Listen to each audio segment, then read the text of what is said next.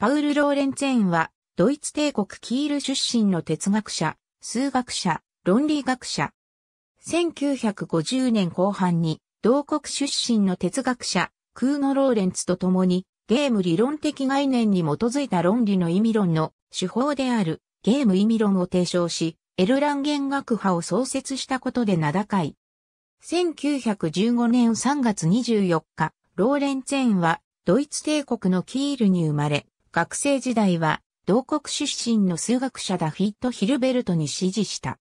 クリスティアン・アルブレヒト大学キールやフンボルト大学ベルリンにて数学、物理学、科学、哲学を学び、1938年にはゲオルク・アウグスト大学ゲッティンゲンに進学し、同国出身の数学者、ヘルムート・ハッセの下で博士号を習得した。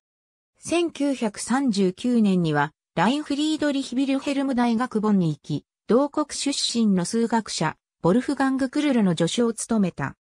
1962年より、フリードリヒ・アレクサンダー大学エアランゲン・ニュルンベルクの教授を務める。その後、スタンフォード大学やテキサス大学、ボストン大学で教鞭を取り、1967年から1968年にかけてのジョン・ロック講義を担当した。1994年10月1日にゲッティンゲンで亡くなる。ありがとうございます。